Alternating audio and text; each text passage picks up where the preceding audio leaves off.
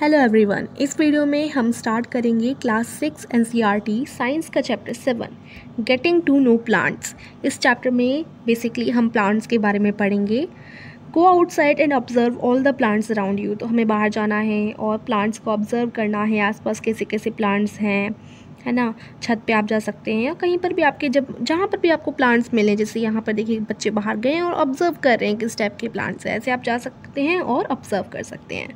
तो आप देखेंगे कुछ प्लांट्स तो बहुत छोटे हैं, कुछ प्लांट्स बहुत बड़े हैं, कुछ जो ग्रीन हैं, कुछ हैं जो मिट्टी में हैं किस, किसी की लीव्स हैं, कोई कोई रेड कलर के हैं।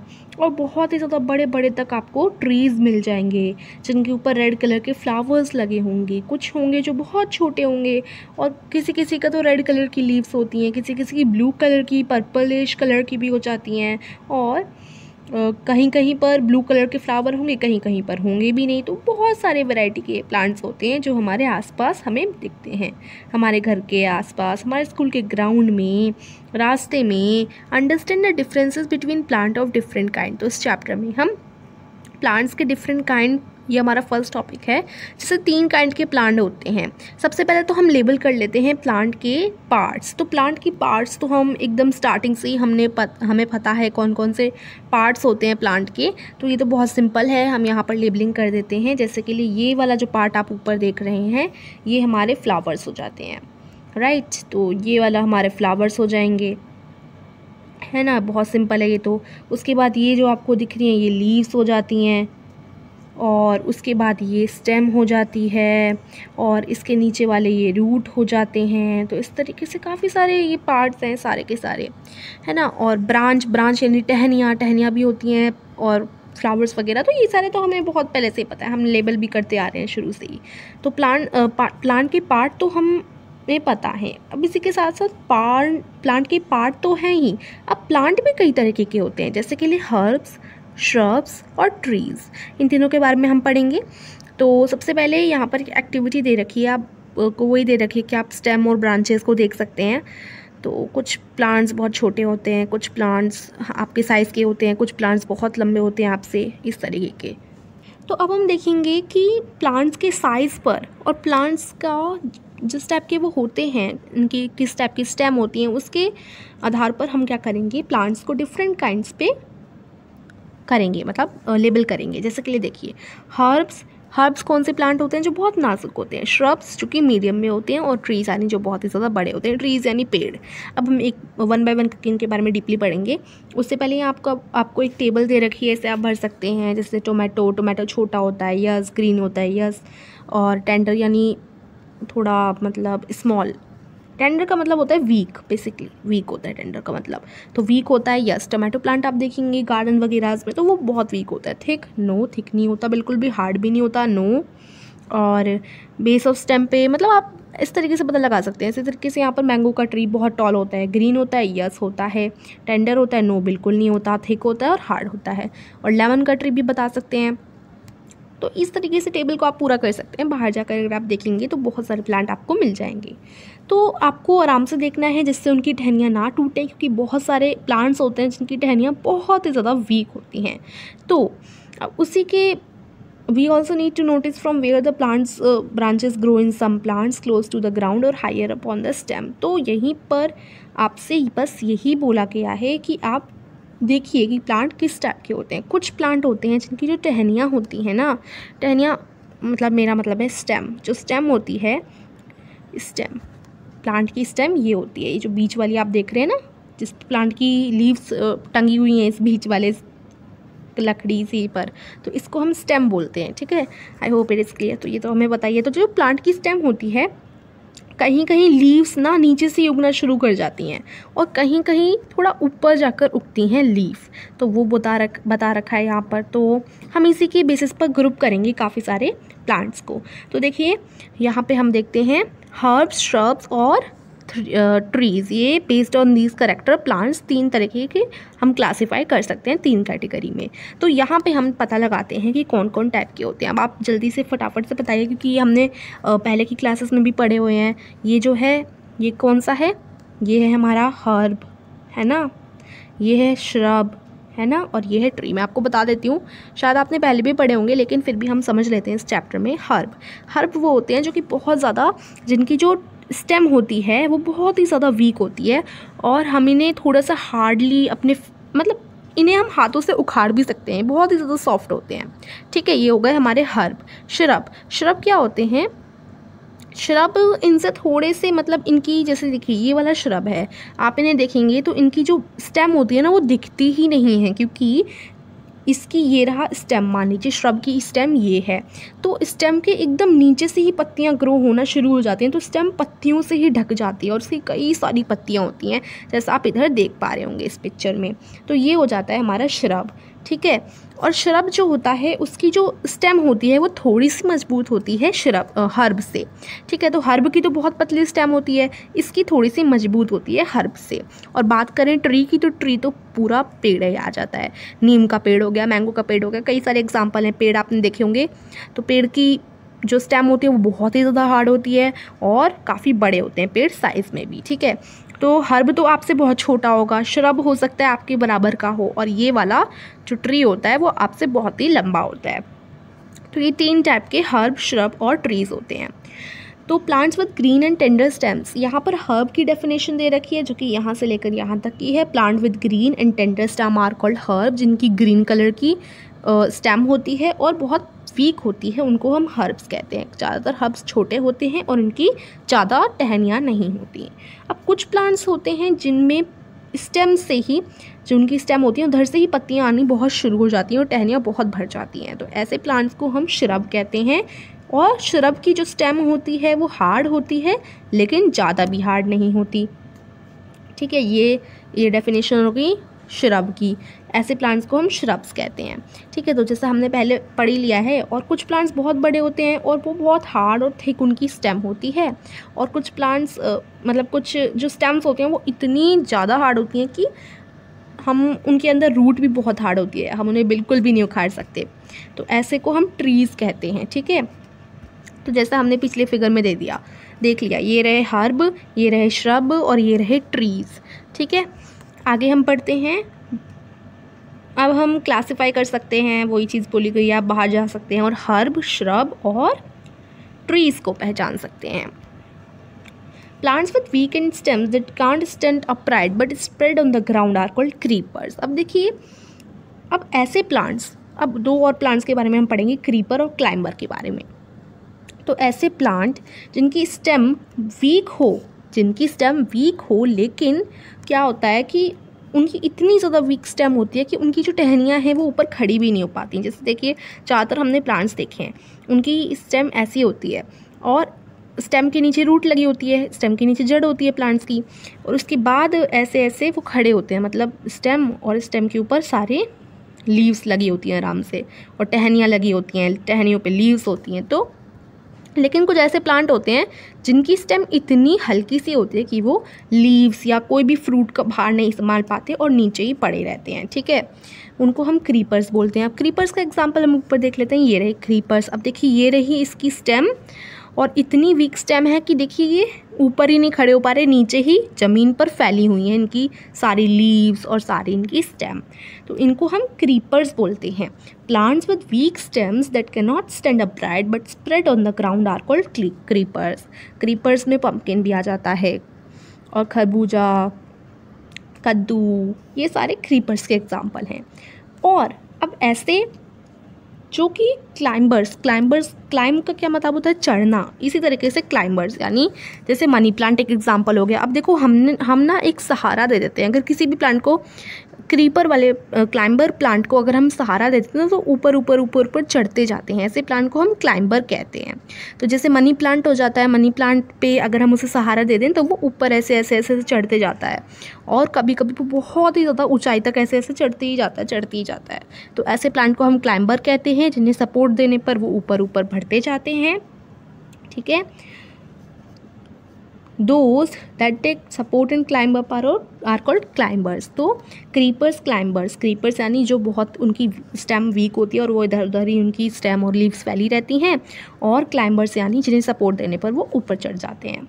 तो ऐसे हमने कई सारे प्लांट पढ़ लिए। क्रीपर्स क्लाइंबर्स हर्ब श्रब और ट्रीज है ना?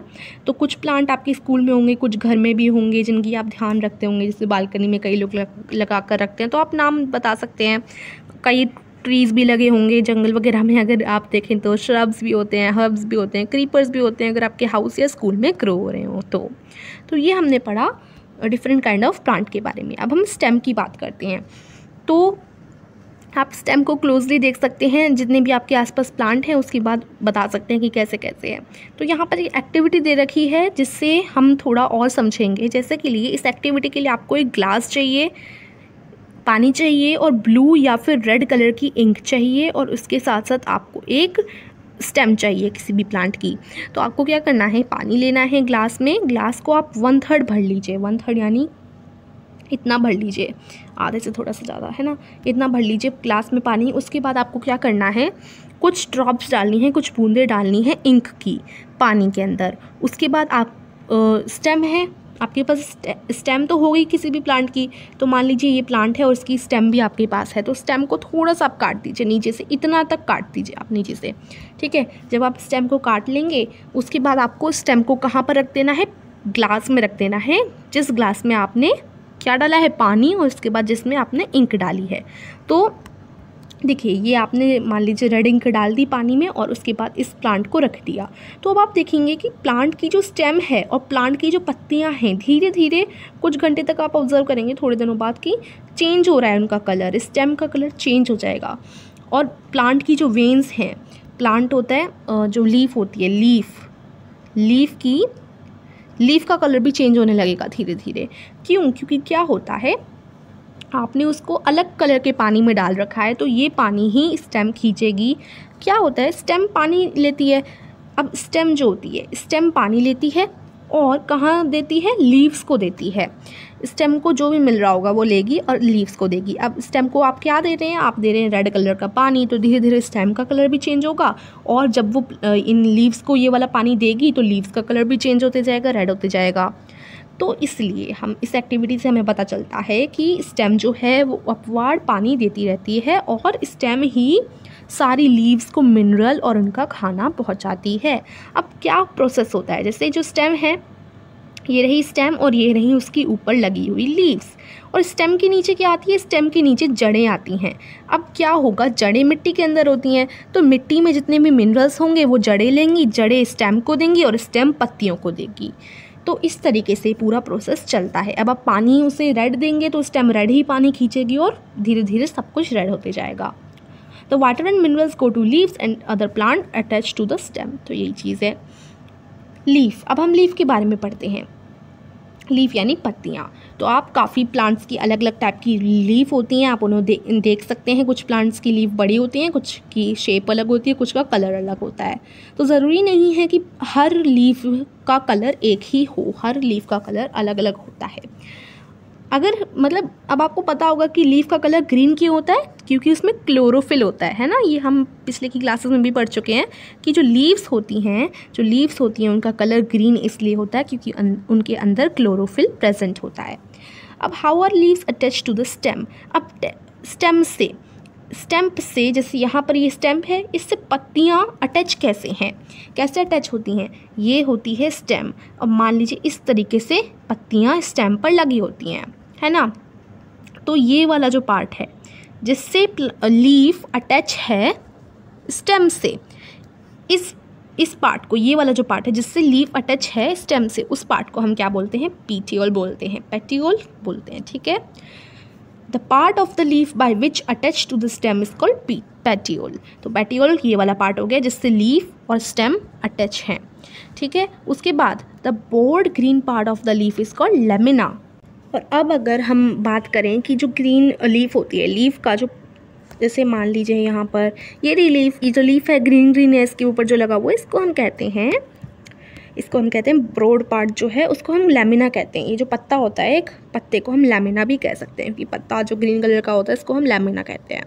ठीक है तो ये देखिए, ये हो गया हमारा लेमिना। ये वाली चीज़, ये पत्ते की शेप एक तरीके से, पत्ते का ब्रोड वाला पार्ट ये हो गया हमारा लेमिना। और उसके बाद पीटीओल ये हो गया हमारा पेटियोल जिससे लीफ स्टेम से अटैच होती है। ठीक है? ओके ये हमने पढ़ लिया।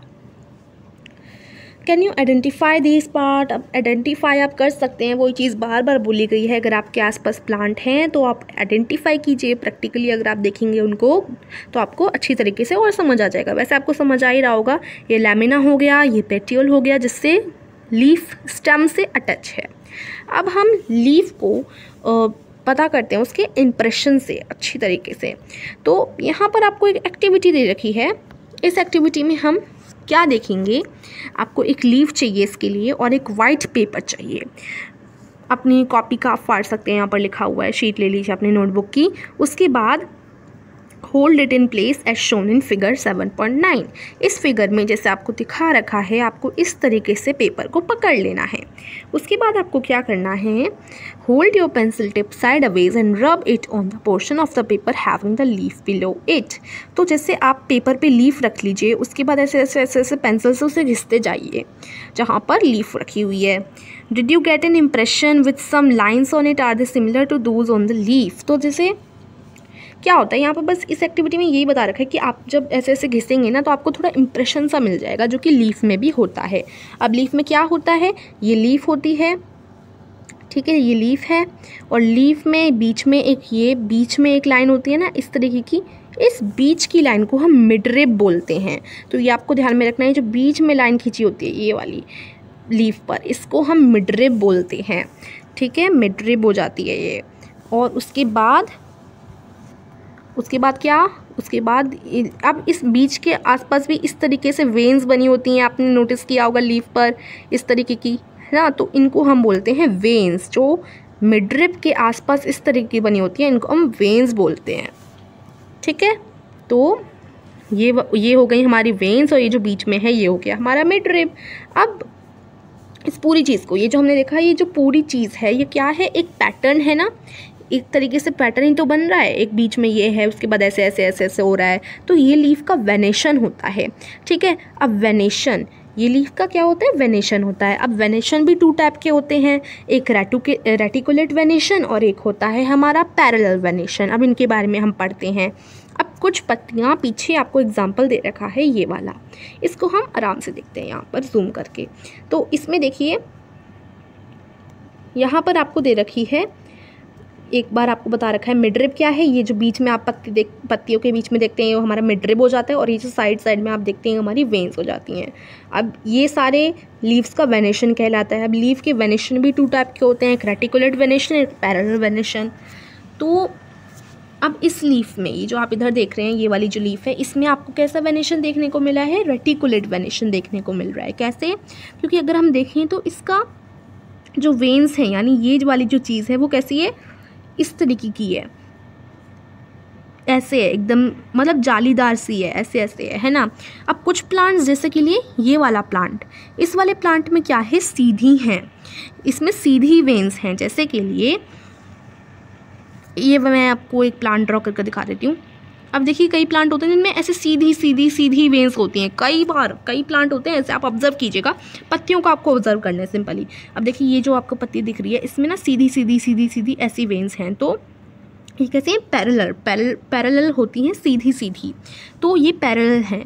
तो इनको हम कहेंगे पैरल वेनिशन अब जब सीधी सीधी वेंस ना होकर कैसी हूँ? इस टाइप की हूँ लेटी लेटी हूँ तो इनको हम कहेंगे midrib sorry midrib नहीं रेटिकुलेट वेनेशन ठीक है? तो ये रेटिकुलेट वेनेशन है और जब वेन सीधी सीधी हो तो उनको हम कहेंगे पैरल वेनेशन ठीक है? तो ये दो टाइप के वेनेशन हमारे हो जाते हैं।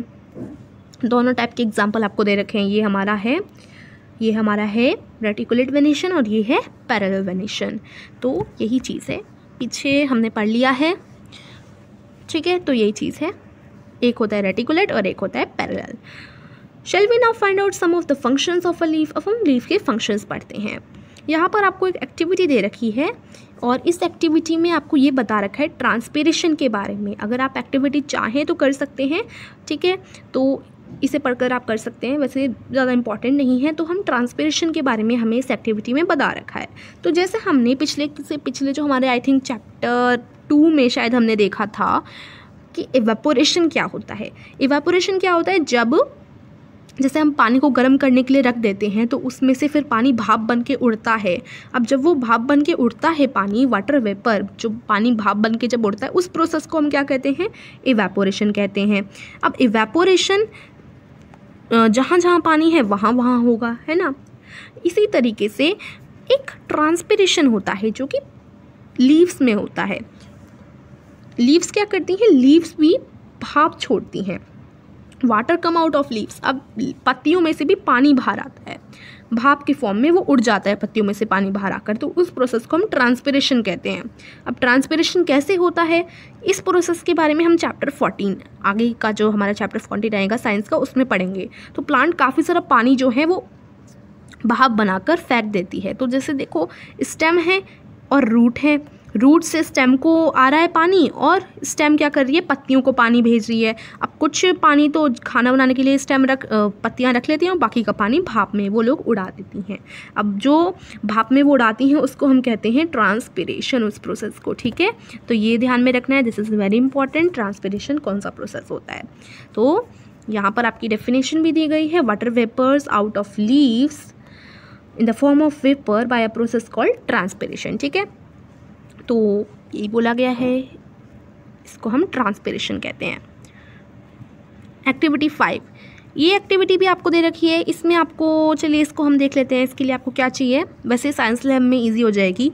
हमें इसके लिए एक पत्ता चाहिए लीफ चाहिए स्पिरिट स्पिरिट एक केमिकल होता है, उसको चाहिए बेकर यानी एक ग्लास ले लीजिए टेस्ट ट्यूब ये जो टेस्ट ट्यूब है, ये टेस्ट ट्यूब होता है हमारा। इसको ले लीजिए, जो कि आपको, आपके स्कूल में साइंस लैब जो होगा, उसमें मिल जाएगा। बर्नर ले लीजिए। जिसमें हम आग लगा सकें, ठीक है? और बर्नर के साथ साथ हम पानी ले लेंगे और उसके बाद हम आयोडीन सॉल्यूशन ले लेंगे, ठीक है? ये सब हमें लेना है। उसके बाद, इस एक्टिविटी के लिए ये सब हमने ले लिया। उसके बाद हमें क्या करना है? लीफ को रख देना है टेस्ट ट्यूब में। लीफ को हमें इसमें रख देना है। उसके बाद इसके अंदर स्पिरिट डाल देना है, ठीक है? स्पिरिट डाल देंगे टेस्ट ट्यूब के अंदर, जिसके अंदर हमने लीफ को रखा है। और उसके बाद टेस्ट ट्यूब को बेकर में, यानी टेस्ट ट्यूब में जो भी चीज़ अब बन जाएगी, उसको हम एक ग्लास में पलट लेंगे और ग्लास को हम पानी से भर देंगे। अब जो बेकर है बेकर यानी जो ग्लास है, उसको हम क्या करेंगे? हीट द बेकर यानी हीट पे लगा देंगे। गर्म करने के लिए रख देंगे जब तक कि जो ग्रीन कलर है, वो लीफ में से बाहर ना आ जाए। Come out into the spirit spirit के अंदर ग्रीन कलर का जो लीफ में होता है कलर वो आ जाएगा और ग्रीन कलर का जब लीफ में से कलर निकल जाएगा तो आप बताइए लीफ का कलर कौन से कलर में बदल जाएगा? पर्पलिश कलर में, ठीक है? तो क्या होता है कि लीफ का, अब इस एक्टिविटी से हमने क्या सीखा? हमने इस एक्टिविटी से लीफ का जो कलर है, उसको उसको क्या किया? उसको इस एक्टिविटी से हमने हटा दिया। तो वैसे क्लोरोफिल की वजह से लीफ में ग्रीन कलर होता है, वैसे जो सारी लीफ होती हैं वो पर्पलिश कलर की इस तरीके से होती हैं। ठीक है? तो यहाँ पे शायद आपको एक फ़ोटो भी दिया गया होगा एग्ज़ाम्पल के तौर पे। ये देखिए, इस पर्पलिश कलर की लीफ आपकी हो जाएगी। आयोडीन सोल्यूशन भी आपको लास्ट में मिला देना है। देखिए, अब क्या करना है? आपको कहाँ तक थे हम लोग? हमने ग्रीन कलर डाल दिया था ग्रीन कलर निकल गया था। जब तक हमें बेकर में वो वाला जितना भी हमने, हमारे टेस्ट ट्यूब में था, वो हमने बेकर में डाल दिया। बेकर को हमने क्या किया? गर्म करने के लिए रख दिया। उसके बाद लीफ में से सारा ग्रीन ग्रीन कलर निकल जाएगा। उसके बाद हम लीफ को अंदर से निकाल देंगे और उसे पानी से धोकर उसमें हम आयोडीन सॉल्यूशन डाल देंगे। तो जब हम आयोडीन सॉल्यूशन मिलाएँगे तो क्या होगा? पूरा अच्छी तरीके से निकल जाएगा किसका? लीफ का ग्रीन कलर तो ये एक एक्टिविटी है। इसमें क्या है कि जब हमने लास्ट में आयोडीन सॉल्यूशन मिलाया तो क्या हुआ? लीफ का जो ग्रीन कलर था, वो निकल गया राइट तो लीफ का ग्रीन कलर निकल गया और कौन सा कलर बन गया? पर्पल सा कलर बन गया लीफ का। तो हमने क्या ऑब्ज़र्व किया? अब ये जो हमने चैप्टर टू में पढ़ा था, उसके साथ आप इसको कंपेयर कर देखिए।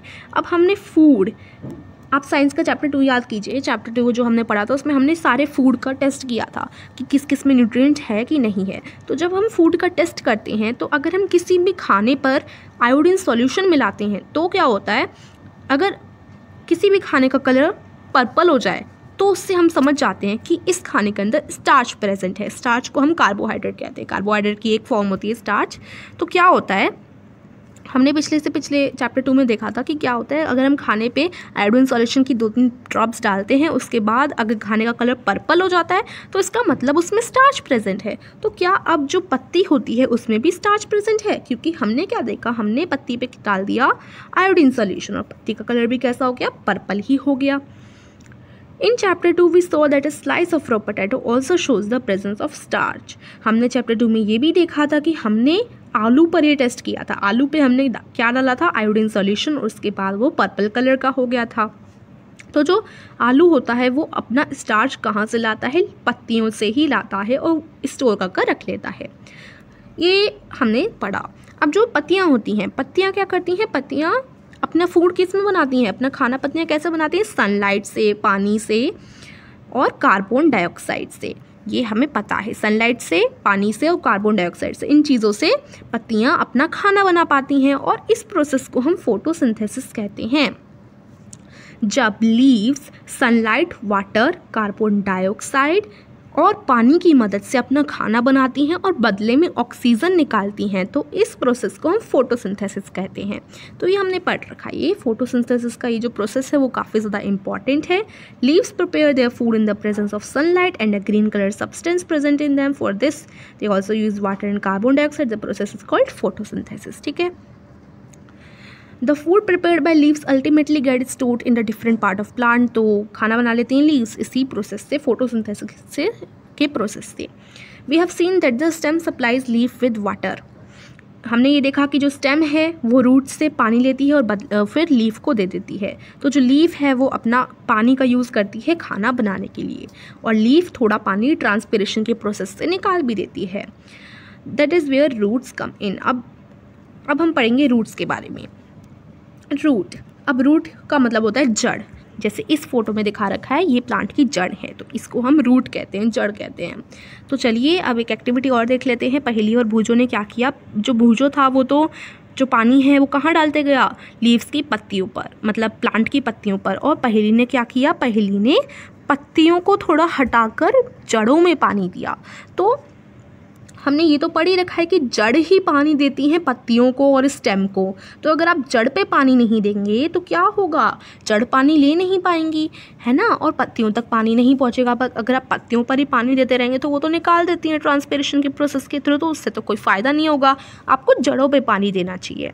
तो क्या हो गया? जो पहली का प्लांट था, उसने जड़ों पर पानी दिया तो प्लांट एकदम अच्छा हो गया और भूजो ने पत्तियों पत्तियों पर ही पानी वो देता गया तो प्लांट उसका मुरझा गया। तो कभी भी आप आगे से अगर प्लांट पे पानी देंगे तो हमेशा उसकी रूट्स पे देंगे।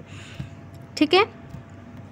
Other plant and plant it in pot P water them regularly तो वही बता रखा है जो मैंने आपको बता दिया। इसके लिए एक और एक्टिविटी यहाँ पर दे रखी है। इस एक्टिविटी में जब आप चने को दो तीन दिन तक पानी में गला कर रखते हैं तो चने के ऊपर से इस तरीके के रेशमे से इस तरीके से निकल आते हैं। तो ये भी इसकी जड़ ही होती हैं, यहाँ पर यही बता रखा है। This is because root helps in holding the plant firmly to the soil अब क्या होता है, जो जड़ होती हैं, जड़ प्लांट को मिट्टी से अटैच रखती हैं। अब अगर जड़ नहीं होंगी ना तो प्लांट सीधा खड़ा नहीं रह पाएगा। जड़ ही तो मिट्टी से पकड़ बना कर रखती हैं अच्छी सी, इसलिए तो जो प्लांट है, वो पूरा अच्छी तरीके से ऊपर खड़ा रह पाता है। तो क्या होता है, यहाँ पर ये बता रखा है कि रूट एंकर एंकर का मतलब एकदम पकड़, मजबूती से एंकर बना कर रखती हैं मिट्टी से। इसी वजह से प्लांट सीधा खड़ा हो पाता है। ठीक है? You have seen that there are different kind of stem and leaves काफ़ी अलग अलग टाइप की स्टेम और लीव्स पाई जाती हैं।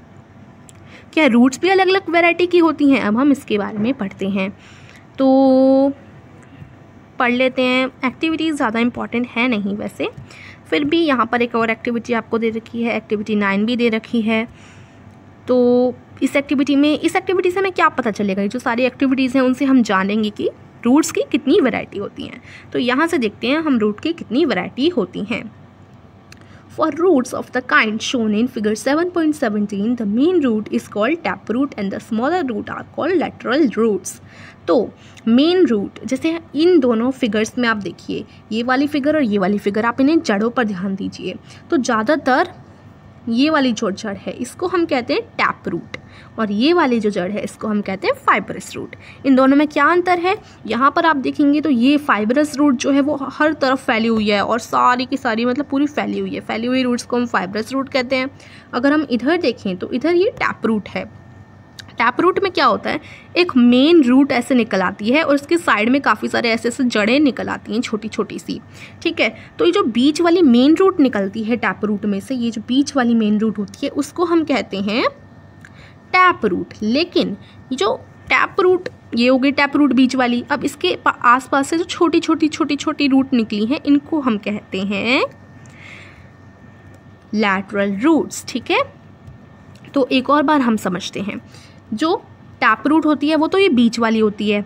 और इसके आसपास जो छोटी छोटी निकली होती हैं, उनको हम कहते हैं लेटरल रूट ठीक है? तो ये हमने पढ़ लिया। और फाइब्रस रूट में क्या होता है? सारी फैली होती है। इनमें कोई मेन रूट नहीं होती। अब हम एक और चीज़ पढ़ लेते हैं कि हमने वेनेशन पढ़े थे रेटिकुलेट वेनेशन और पैरेलल वेनेशन तो जो पैरेलल वेनेशन वाले प्लांट्स होते हैं, उनमें ज़्यादातर फाइब्रस रूट पाई जाती हैं और जो रेटिकुलेट वेनेशन वाले प्लांट होते हैं, उनमें टैप रूट पाई जाती हैं। ठीक है? अब इनकी डेफिनेशन यहाँ पर हम पढ़ सकते हैं। The main root is called tap root and the smaller root are called lateral root ये हमने पढ़ लिया। Plant with root, as shown in figure 7.7 do not have a main root. All roots seem similar and these are called fibrous root. तो यहाँ पर इस फैली हुई प्लांट को हम fibrous root कहेंगे, इस वाली प्लांट को हम tap root कहेंगे। तो ये हमने इस वाले पैराग्राफ में पढ़ा। Separate the plants you have collected into two groups in group A अब आप क्या कर सकते हैं? ग्रुप बना लीजिए। ग्रुप ए में आप ऐसे प्लांट्स को रखिए जिनकी टैप रूट हों और ग्रुप बी में आप ऐसे प्लांट को रखिए जिनकी फाइब्रस रूट हो तो ये आप कर सकते हैं। इसी टाइप की एक एक्टिविटी है तो यहाँ पर आप बता सकते हैं कि प्लांट का नाम और प्लांट की वेनेशन और प्लांट की रूट का आ, कौन सा तरीका है मतलब कौन सी रूट है ये आप बता सकते हैं। Type of root We have learned that roots observe water and minerals from the soil and the stems conduct these to leaves and other part of the plant. तो हमने देखा कि जड़ों से पानी आता है मिनरल्स आते हैं और स्टेम उन्हें लेती है और पत्तों तक पहुंचाती है। तो जो पत्ते हैं वो प्रिपेयर करते हैं फ़ूड फ़ूड कहाँ पर जाता है? फ़ूड स्टेम से स्टेम से होकर जाता है और स्टोर हो जाता है पत्तियों में और डिफरेंट पार्ट में प्लांट के। और हम इसी को आ, आपको पता होगा कि हम प्लांट्स को ही खाते हैं। काफ़ी प्लांट्स को हम खाते हैं। जैसे कैरेट का प्लांट रेडिश का plant sweet potato turnip tapioca इन सबको हम खाते हैं और काफ़ी सारे प्लांट के पार्ट भी हम खाते हैं। ठीक है? तो ये बता रखा है। In the next section we will study about the structure of a flower अब इस सेक्शन में हम फ्लावर की स्ट्रक्चर के बारे में पढ़ने वाले हैं। तो जैसा आपको यहाँ पर दिखा रखा है, तीन ब्रांचेज ऑफ़ अ रोज़ इन तीनों में से आपको कौन सा प्लांट लग रहा है? तीसरा वाला लग रहा है, क्योंकि इसमें क्या है फ्लावर्स भी हैं। तो फ्लावर्स एक इंपॉर्टेंट रोल निभाते हैं प्लांट में। तो काफ़ी सारे कलर के फ्लावर होते हैं, सारे फ्लावर कलरफुल होते हैं, आपने देखा होगा, हर तरीके के फ्लावर आपको मिल जाएँगे। एक्टिविटी टेन यहाँ पर दे रखी है। इसमें हमें पेटल्स के बारे में बताया है। पेटल्स क्या होती हैं? ये सारी पेटल्स हैं। फूलों के जो पत्ते होते हैं, उनको हम पेटल्स कहते हैं। और कई फूल जब खिल रहे होते हैं, जैसे आपने रोज़ देखा है कभी खिलते हुए तो रोज़ के नीचे ये छोटे छोटे ऐसे आपको जो पत्ते दिख रहे हैं ना, जैसे अभी खिल रहा है तो इसकी साइड में जो छोटे छोटे पत्ते हैं, इनको हम सेपल्स कहते हैं। और जब भी पूरा खिल जाता है तो इसके जो पत्ते निकल आते हैं, उनको हम क्या कहते हैं? पेटल्स कहते हैं। तो आई होप सेपल्स ये होते हैं जैसा आपको पिक्चर में दिखा रखा है और पेटल्स ये होते हैं जैसा इस पिक्चर में आपको दिखा रखा है। ठीक है? और यहाँ पर ये भी बता रखा है कि जब प्लांट खिल रहा होता है तो उसको हम बड कहते हैं और जब प्लांट खिल जाता है पूरा तो उसको हम फ्लावर कहते हैं। तो आप फ्लावर ले सकते हैं, उसके पेटल सेपल्स देख सकते हैं। उसके बाद आपसे कुछ क्वेश्चंस पूछे गए हैं। क्या सेपल्स कितने सेपल्स हैं उसके? क्या सारे जोड़े हुए हैं? क्या सबके कलर्स एक जैसे हैं? कितने पैटर्स फ्लावर्स के होते हैं। तो ये आप प्रैक्टिकली कर सकते हैं। अगर आपके आसपास कोई रोज़ हो या कोई भी फ्लावर हो तो उसके पैटल्स एप्पल को देख सकते हैं। उसके बाद अपने ऑब्जर्वेशन के हिसाब से यहाँ पर एक टेबल दे रखी है। इसको भर सकते हैं। जैसे रोज़ रोज़ के सैपल कितने हैं पेटल कितने हैं, सारे जुड़े हुए हैं या सारे टूटे हुए हैं, इस तरीके से। Remove the sepal and petals अब अगर हम सेपल और पेटल्स को हटा दें किसी भी रोज़ के तो उसके अंदर हमें इस तरीके की चीज़ें मिलती हैं अब इनके बारे में हम पढ़ेंगे केयरफुली आपको पढ़ना है compare your flower with the illustration and identify the stamens and pistil in your flower Look at figure 7.23 carefully. It shows different kind of stamens present in different flower. Can you recognize the two parts of the stamens in your flower?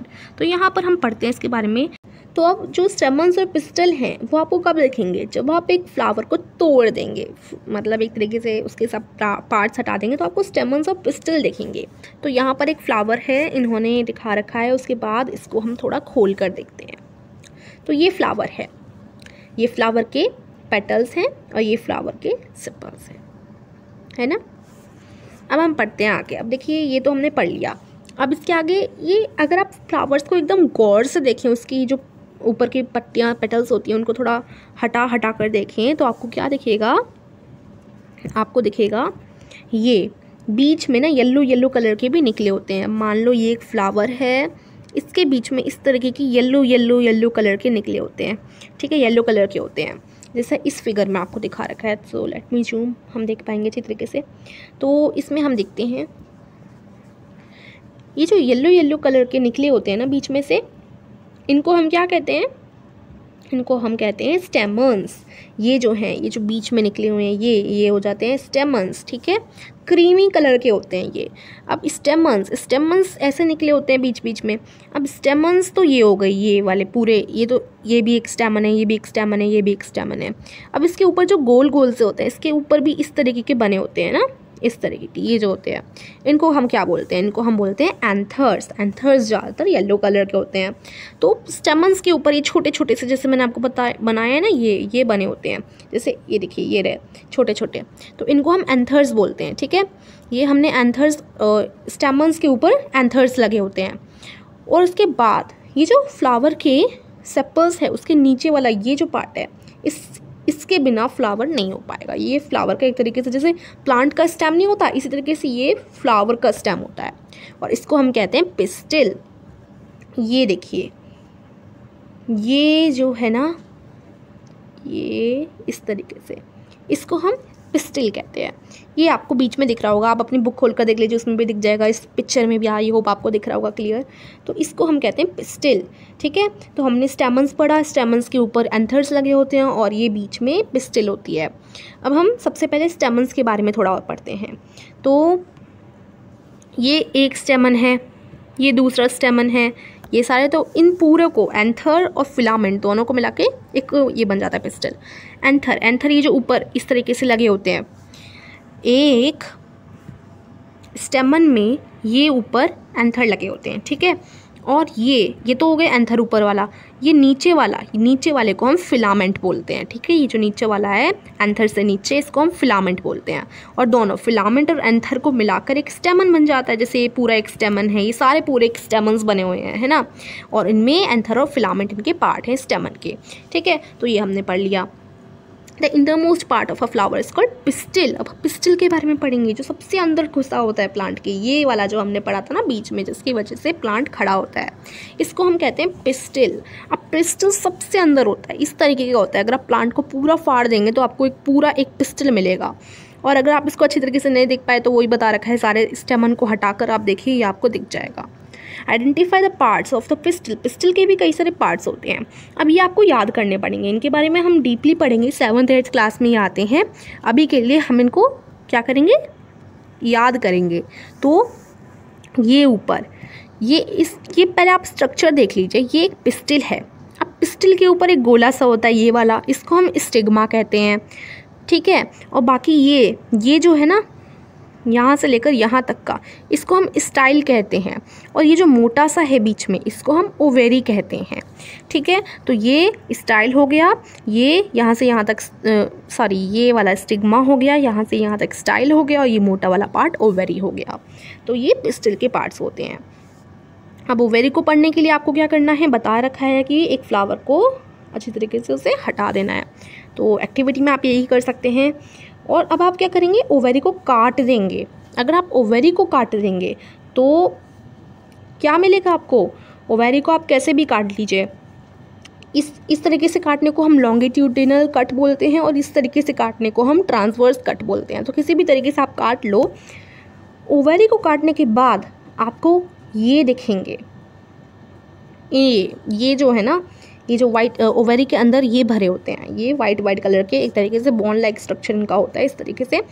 अब इनको हम कहते हैं ovules ये जो छोटे छोटे गोले गोले से हैं ना, इनको हम ओव्यूल्स कहते हैं, जो कि हमें ओवेरी काट कर मिलेंगे। ओव्यूल्स ठीक है?